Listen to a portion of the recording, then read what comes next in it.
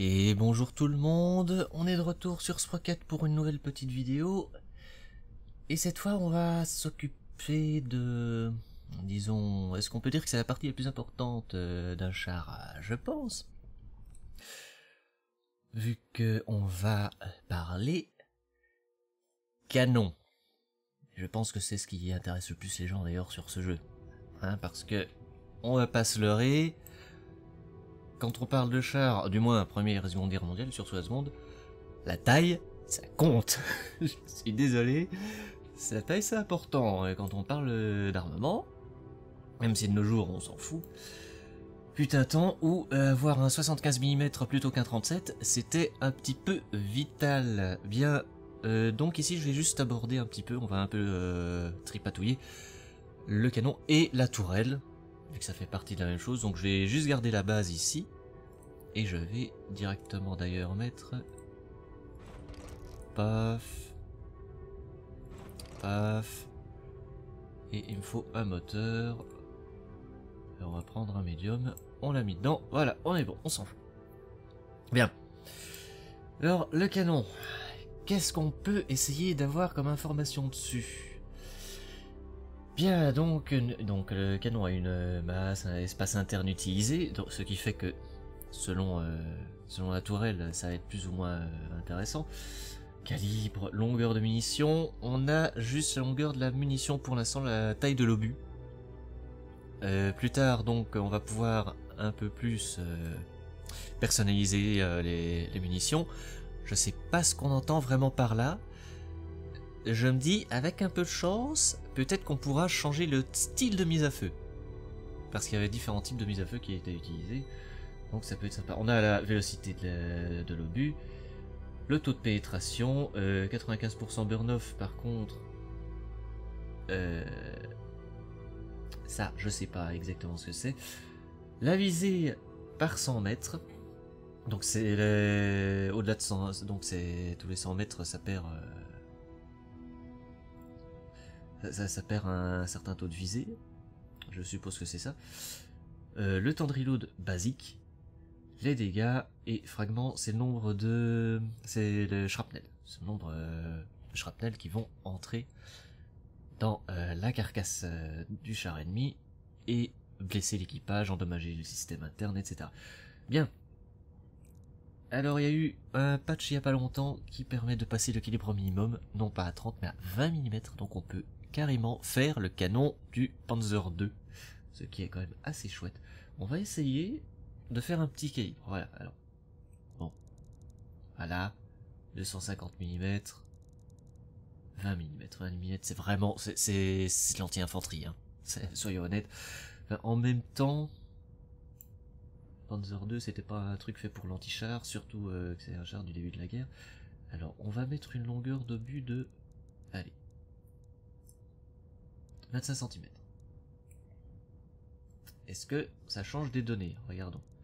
Ça change le taux de pénétration, le temps de reload et les dégâts, ainsi que le euh, burn-off.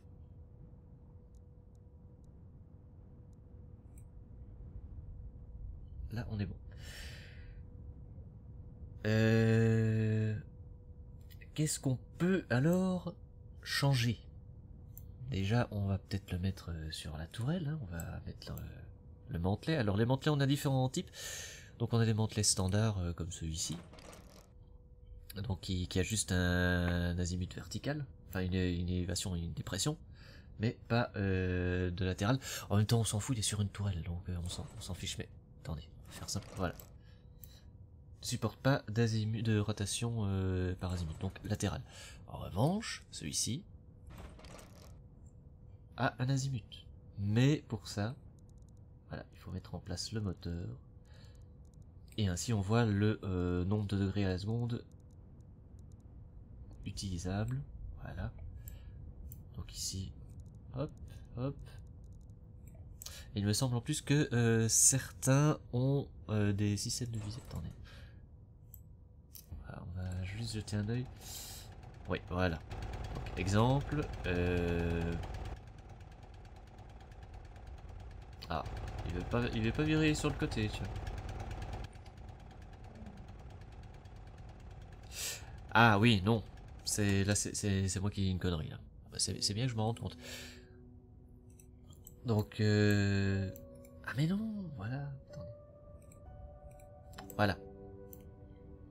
Je suis Donc euh, ici on a le système de, de visée pour le tireur, mais on a certains mantelets. Je pense qu'il y a celui-ci, celui-ci, celui-ci. En fait, ceux qui ont un petit trou supplémentaire, euh, normalement c'est pour le système de visée pour le tireur. Donc là, si je le prends, voilà. Hop, hop, hop, on est bon. Donc il y a certains, certains euh, mantelets permettent de se passer du viseur. Est-ce que c'est intéressant ou pas? Je ne sais pas par contre. Voilà, donc on va retirer ça. On va mettre un On va prendre celui-ci. Il me faut donc alors par contre le système de visée. Le tireur à la tourelle. Et on va changer la taille du canon. Parce qu'ici, on a un problème. Voilà, la barre bleue, c'est la plus importante, la barre bleue doit absolument être le plus court possible. Ça doit être la plus courte possible. Elle doit être à l'intérieur du mantelet. Parce que sinon, en fait, ça risque de poser euh, certains problèmes par rapport au, poids. Ici, c'est un petit calibre, donc heureusement, euh, on s'en fout. Mais voilà, donc il est plus facile de faire, faire une rotation du canon aussi le pivot, donc son pivot, la ligne bleue, est le plus proche possible du centre de masse. Le centre de masse, normalement, c'est là. Maintenant, on a ça. On a le barrel, on a la base. La base, généralement, est assez courte. Alors ici, on va la mettre à... Est-ce que je peux la mettre à 0,2 Je sais pas pourquoi, là, il veut pas euh, prendre. Voilà. Est-ce que la base change quelque chose? Oui. La visée, au plus c'est long, plus euh, la visée. On a le taux d'élévation aussi. Regardez, hop. Là, par exemple. Voilà. C'est normal. Vu que euh, la force de l'axe se trouve plus loin que la base. Ah, pas bon d'éternuer. Excusez-moi. Bien, on va donc la mettre à 20 cm. Est-ce que l'épaisseur change quelque chose? Juste le taux d'élévation. On va le faire euh, étroit. Et la longueur ici, ça change quoi? Eh ben toujours la vélocité de l'obus, de façon moindre, hein, euh, regardez ici en fait euh, ça change 0,1 mètre seconde. Le burn-off et la visée. Donc la visée avec un canon court, je, je suppose qu'avec un canon court le taux de visée est tellement dégueulasse. voilà, donc au plus un canon est long, et long, pardon, au mieux c'est. On va le mettre à 60 cm. Là, techniquement, on a vraiment un petit canon à la con.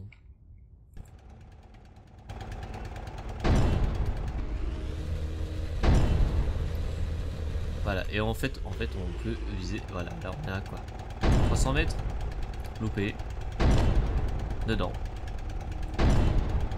Loupé dedans. Voilà, donc ça, ça va mm. Je sais pas si on peut atteindre plus de 1000 mètres par seconde avec la vélocité, vu que voilà. On voit que la dépression, l'élévation, tout ça est quand même assez, assez fou. Et donc là, la, ligne bleue, eh bien, à la base. Bon, bien sûr, on a aussi ceci qui ne change rien. C'est juste euh, le, c'est juste la bouche de canon qui euh, avait différents systèmes. Je crois que c'était pourquoi réduire le recul, évacuation de la fumée sur les côtés aussi, euh, sonorité, etc. Je ne sais pas si ce sera mis dans le jeu plus tard, on verra bien. Bon, donc on a vu ce que ça donnait pour un petit canon. Si on essayait, plus gros calibre. Et on va mettre, euh, donc on va prendre un 75 mm. Voilà, qui est ici. C'est déjà un petit peu plus costaud faire. On a chien, il vraiment pas. On va faire un obus de 42 cm. Ah, regardez, vélocité. Il en perd, mais il gagne un taux de pénétration. Le temps de reload, bien sûr, diminue, etc. Les dégâts augmentent. Oh non, parce que si j'en fais un trop gros, ça, ça vaut pas la... un, un obus d'un mètre, quoi. Pour, pour un 75 mm, c'est c'est quand même gros. Hein. Faut pas se cacher. Bien, dans ce cas, on va devoir essayer de trouver un moyen d'améliorer ça, parce que pénétration de 91 mm, c'est que dalle. C'est que dalle, hein. Euh, par exemple... Voilà, par exemple, ici, vu que c'est en anglais, 143 mm, je peux percer ça, je peux percer le bas de caisse avec un peu de bol, mais sinon, euh, c'est pas ouf, ouf. Donc la première chose qu'on va faire, c'est la longueur de la base du canon. Euh, avant ça, j'aime bien travailler avec la, monture. On va mettre un medium mantlet. Hop. Va falloir que je change un petit peu le design de la tourelle. Pour avoir plus facile. Voilà. C'est moche mais on s'en fout. Hein. Et le coup, le coup, ça on le met là. Voilà. On a donc ici un... C'est c'est donc un mantelet de, Panzer. euh, C'est de Panzer 4 ça? Ouais, ça doit être ça. Excusez-moi un instant. Voilà. Foutenez coulant. Alors, qu'est-ce qu'on essaierait bien de faire? Est-ce qu'on essaye de faire un... Alors, on peut essayer de faire un canon court, par exemple. Donc ici, on va mettre une longueur à 30 pour la base. On va mettre une épaisseur de 50. Ah, Le truc, c'est que la base, on la voit pas. Voilà. Donc on va la mettre à 50 cm. Là, on voit bien la base. Ça, c'est vraiment euh, canon euh, style allemand d'ailleurs. La longueur du barrel. On peut le faire court, comme ceci. Bon, on dirait un peu une poire à lavement. on dirait une poire à lavement un petit peu, ou, un truc du genre, c'est c'est un peu foireux. Mais voilà, on voit on a une vélocité qui est pas folle, le temps de reload, euh, etc. Si je prends l'épaisseur la moins forte, on passe à 15 mm par exemple. Est-ce qu'on touche la cible là? Alors sachant que c'est pas le rond mais bien la petite croix jaune qu'il faut prendre.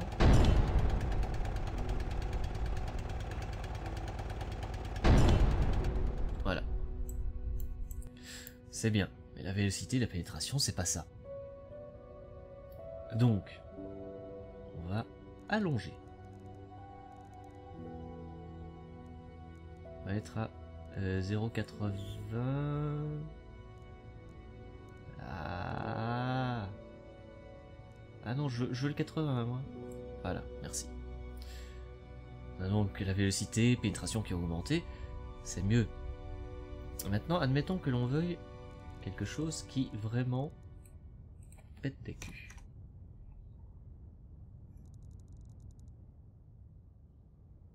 Voilà, On diminue un peu ça pour que ce soit plus beau. On a une pénétration de 95,4. Ça change quelque chose? Le taux d'élévation? Bon, On s'en fout. On va mettre à 20 quand même. Voilà, que ce soit un peu moins moche. Ici, on le réduit comme ceci. Et donc là, on ne sait pas percer du 100 mm, par exemple. Je vais mettre 1m50. Voilà, 1m50, on a un canon un peu plus long, on va mettre une bouche à c'est mieux. Vélocité, on pénètre de 95,5 mm.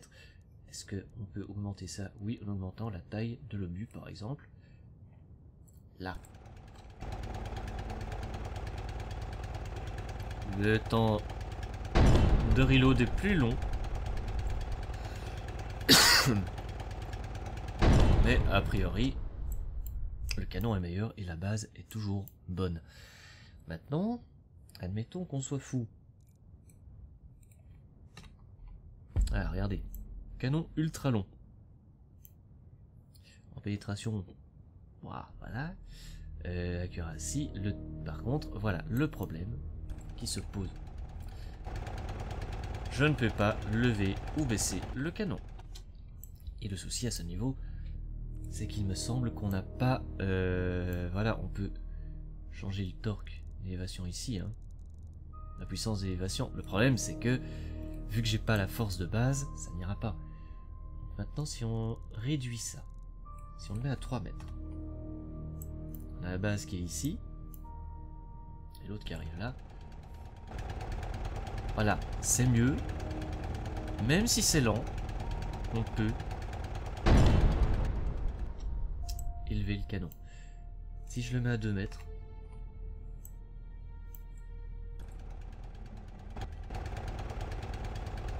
c'est encore mieux. Voilà, donc il y a vraiment un, rapport euh, de cause à effet entre les, longueurs des différentes pièces. Maintenant, la vélocité, c'est toujours pas ça en fait. hein. Voilà. Si on met quelque chose de petit, on va garder 75 mm. Si on met un autre petit, qu'on rallonge, voilà. À mon avis, la vélocité, on sait pas aller plus haut qu'à certains chiffres sur le jeu pour l'instant. Doit, ça doit être ça. Si c'est pas ça, bah, on va le savoir tout de suite, vu que cette fois, on va essayer de faire un gros, très gros canon.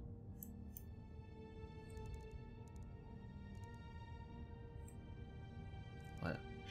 Non, on sait pas, a, a priori, on ne sait pas aller plus vite que ça.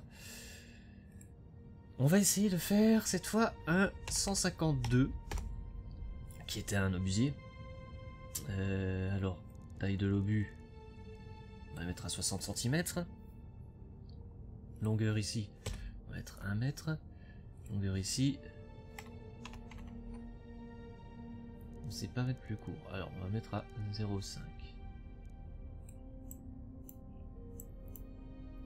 On va retirer ça pour voir plus clair. Voilà, donc ça, c'est un, euh, c'est un canon court, euh, style, euh, c'est style KV2, littéralement. Est-ce que changer l'épaisseur ici, ça sert à quelque chose? Allez savoir. Voilà. Et on va le mettre à 40. Ça me semble très bien. Donc ici on a une vélocité dégueulasse. Le taux de pénétration est pas ouf, franchement. Et euh, en fait, en général, de toute façon, ce genre de canon, c'est plus fait pour de l'APHE qu'autre chose. C'est fait pour la munition explosive. Vu que c'est gros, ça va lentement, mais ça fait mal. Voilà, et de nouveau, la force pour le canon est insuffisante. Euh, pour une raison qui m'échappe d'ailleurs.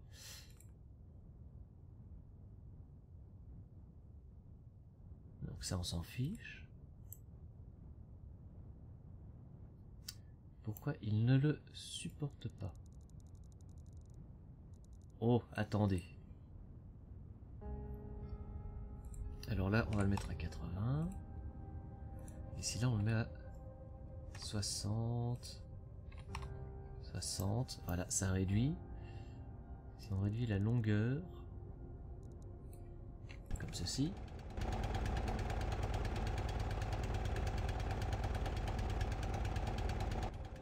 Ok. Ici, on va peut-être trouver une autre donnée. Euh, voyons, est-ce que changer la tourelle, ça peut modifier la chose Là, je suis vraiment en train de découvrir un, truc que j'avais jamais eu avant.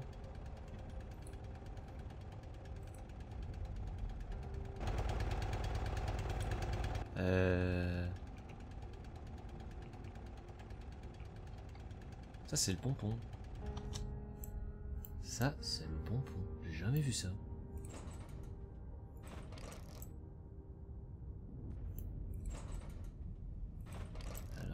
J'essaie de le mettre au milieu comme ça, c'est propre.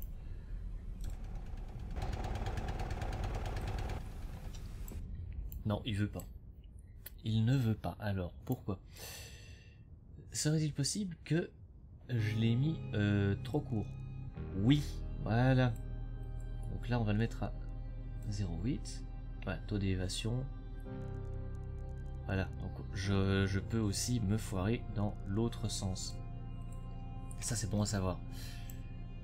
Donc ici par exemple, 1 mètre, euh, c'est pas ouf.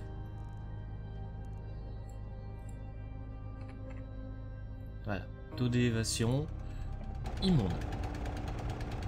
Voilà, regardez. Cran par cran, littéralement. Cran par cran. Alors les munitions par contre c'est bizarre qu'ils veuillent pas tirer, donc... Euh... Ah, voilà, il est d'accord, les HE, les... La PHE, ils voulaient pas. Voilà, c'est lent, très lent à charger, ce qui est normal, c'est une question de, calibre et de poids de munition de toute façon. Hein. Un obus de 50 cm, pas de 60, ça se charge pas euh, tout de suite en deux secondes. Enfin, de nos jours, si, hein, mais à l'époque c'était à la main. Et c'est à côté. On va regarder la trajectoire de l'obus d'ici.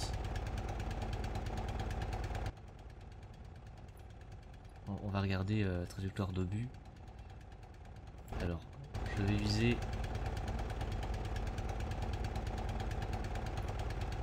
Voilà, on est dessus, on est d'accord. C'est à côté, voilà. Donc, on est clairement face... Là, on est face à un cas où euh, le, les chances de toucher sont moindres, ce qui est normal, c'est parce que l'obus est plus lourd, la vélocité est dégueulasse. Maintenant, on va finir avec quelque chose de très gros. Alors, je sais qu'on peut faire voilà, ça c'est débile. 250 mm, euh, je pense pas qu'il y ait eu un seul canon sur char qui ait fait cette taille-là. Ou alors, euh, sur char, voilà, je précise bien sur char. En revanche, il me semble bien que il y avait eu un 188 mm pour le Storm Tiger. Qui était un canon en casemate. Donc cette fois, on va faire une petite, une petite modif. On va essayer sans tourelle. On va augmenter la taille de ce truc-là. On va prendre ceci. Voilà. On a 188 mm. Est-ce qu'il peut bouger?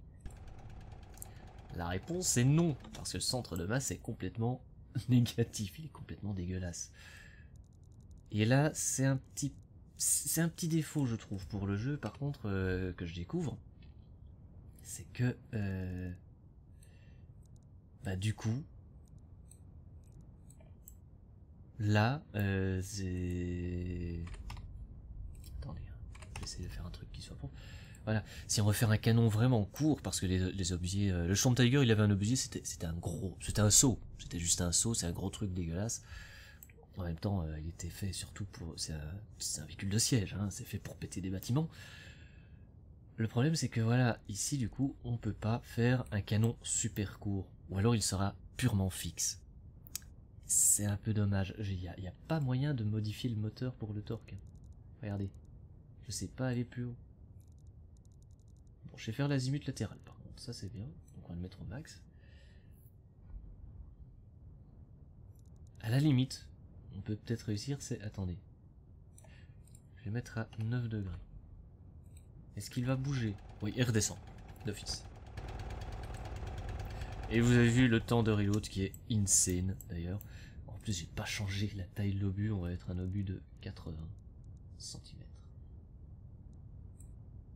Voilà, la vélocité ignoble, la pénétration ignoble, le l'accuracy ignoble. Donc en fait, faire un canon euh, lourd, style obusier dans le jeu, c'est pas encore vraiment euh, possible. Je sais pas si ce sera possible plus tard d'ailleurs. Ça c'est la bonne question. Maintenant, est-ce qu'on peut réussir à faire quelque chose ici pour que ce soit possible de bouger? On va mettre à 2 mètres. Ou alors on met ce ici à 2 mètres. Voilà. Voilà, vous voulez un 188 Vous êtes obligé de faire ça. Au minimum. Et encore, ce sera très lent. Hein. Alors attention. Est-ce qu'on va mettre trop... On attend. Donc voilà, euh... c'est un peu dommage.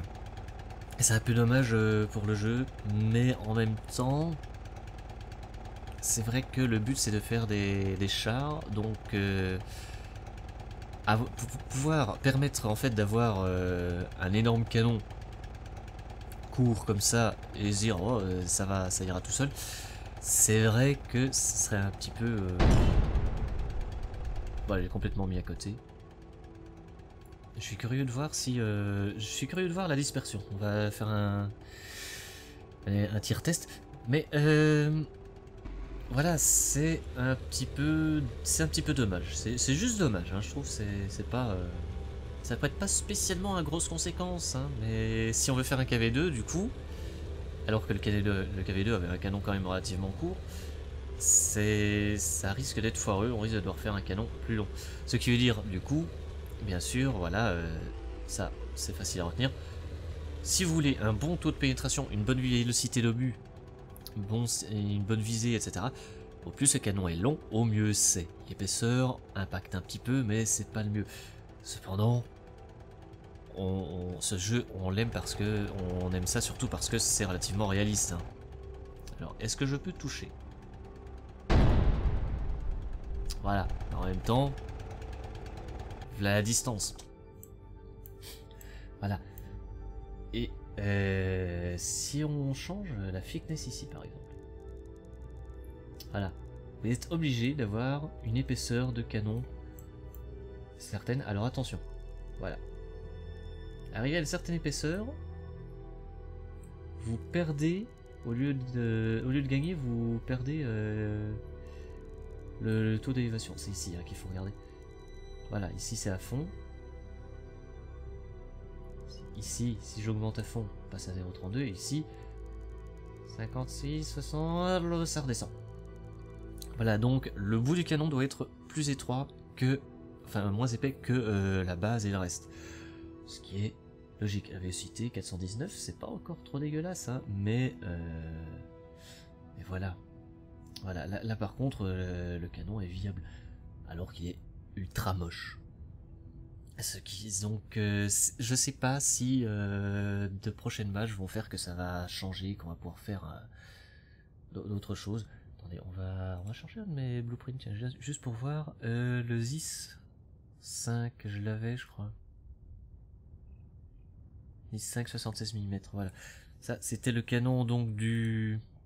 C'était le canon du T3450, euh, oui, T34 avec un 76 mm et du KV1, il me semble.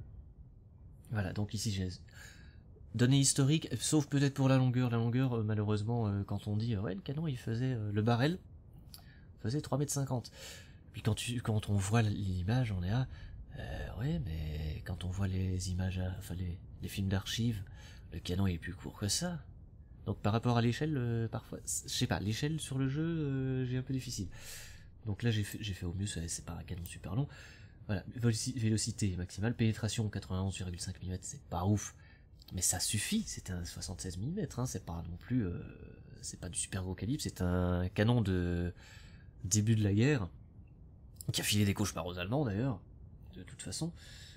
L'accuracy est pas dégueulasse, le reload time il est bon, les dégâts, fragments, taux d'élévation, c'est pas, euh, immonde, voilà. Mais si on prend le célèbre pack 43 de 88 mm, alors c'est con, hein, mais j'ai perdu en vélocité alors que normalement, normalement je dois en gagner, c'est surtout ça le truc. Euh. Je peux repasser à 842 si je fais un canon super long en fait. C'est ça le problème et même pas. Donc je vais recharger pour avoir les données euh, de base. Il faudrait un, bouton euh, undo euh, sur ce jeu pour quand on fait une erreur, pouvoir faire une ou deux marches arrière sur les données pour pas devoir regipoter. Donc pénétration 144 c'est très bien, c'est franchement c'est vraiment bon. L'accuracy est bonne, le reload time il est pas dégueulasse du tout, il est même très bon. Fragments, les dégâts sont monstrueux. Donc Là, c'est un canon qui est plutôt efficace. Et si, on va prendre un dernier, on prend le 47 mm SA-37 français, du début de la guerre. Euh, ça, c'était sur le B1, il me semble.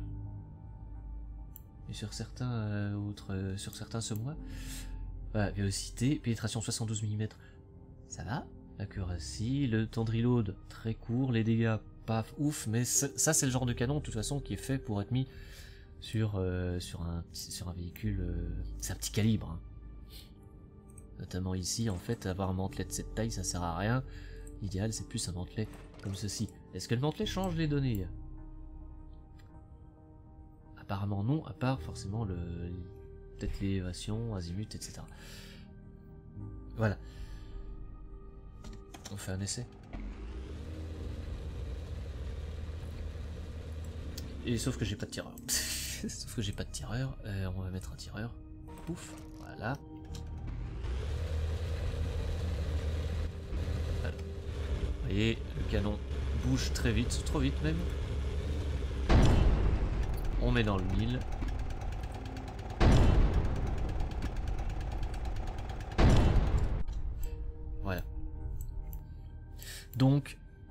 Euh, ce qu'il faut en retenir, c'est que sur le jeu, on va devoir euh, privilégier alors les canons longs. Ce qui est... Voilà, donc si on veut avoir la vraie taille des canons, enfin avoir un char bien proportionné, ce sera pas toujours facile parce que le canon euh, sera pas sera pas réaliste en quelque sorte, ce qui est pas vraiment un problème, hein, euh, c'est pas dommageable. C'est déjà très sympa qu'il y ait des données qui changent selon l'épaisseur, euh, la longueur, ce genre de choses. Donc, mais le plus important à retenir, ça parce que j'ai vu il y a pas mal de personnes apparemment sur Steam qui étaient là, ma tourelle bouge pas, mon canon peut pas bouger, etc. C'est le le, le, le, le, que dire? C'est vraiment le, centre de masse du canon. Il faut absolument que vous... En fait, de toute façon, il suffit de voir si l'élévation est possible, un nombre de degrés par seconde pour l'élévation, il n'y a pas de souci. Regardez ici, si j'allonge, voilà, sachant que le centre d'élévation, de toute façon, va changer à chaque fois selon, normalement, le type euh, de, de mantelet. On va essayer un autre mantelet, on va prendre par contre, on va reprendre le lourd. Voilà, ici, à la base l'autre on était un peu plus par là, ici on est plus en avant. Parce que le centre de masse, il y a le mantelet en lui-même qui pèse un certain poids. Je dis pas de conneries, hein. je, vérifie, parce que si j'ai une connerie pour finir, c'est quand même dommage. Non, voilà, c'est bien ça. Donc le centre de masse a un peu changé. Le taux d'élévation, on va pas bouger lui, mais il faut donc tenir compte de ça. Vous faites attention à la ligne bleue quand vous faites votre canon. Euh, vous faites attention aux différentes données. Vous au plus la pénétration élevée, au mieux c'est en général. Mais si vous voulez être euh, relativement logique, il y a des fois où vous en foutez. Par exemple, début de la guerre, vous n'avez pas besoin d'un canon qui permet de, percer 100 mm. Il y a quasiment rien qui est 100 mm, et même si c'est le cas, vous vous démerdez pour avoir un char relativement agile, et vous trouverez un point faible. Le cul. Le cul du char, c'est toujours le point faible. C'est à retenir. Donc voilà, gardez, gardez donc en tête la ligne bleue, longueur, taille d'obus, euh, calibre, tout ça est à prendre en compte. Et la vélocité, malheureusement, maximale est de 842,1. J'ai pas pu aller au-dessus. Voilà, c'est là-dessus qu'on va s'arrêter, se quitter. J'espère que ça vous aura aidé, bien sûr, et que ça vous aura intéressé, que la vidéo vous aura plu. Je vous dis à la prochaine. Ciao